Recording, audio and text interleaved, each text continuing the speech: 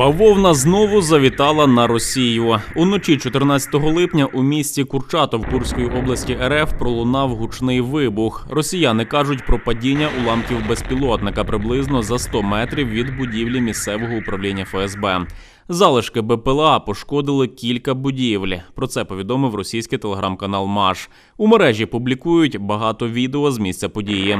Як зазначається, Курчатов розташований за 4 кілометри від Курської АЕС. Даних щодо потерпілих немає. Місце події оточили правоохоронці. Неспокійно було для рашистів і у російському Воронежі. Там теж прогримів дуже потужний вибух. Окупанти традиційно заволали про нібито атаку безпілотників. До речі, перед вибухом місцеві бачили у небі яскравий спалах.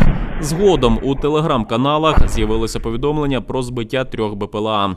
Пропагандисти припустили, що могла відпрацювати ПВО. Чи є руйнування та постраждалі, поки невідомо.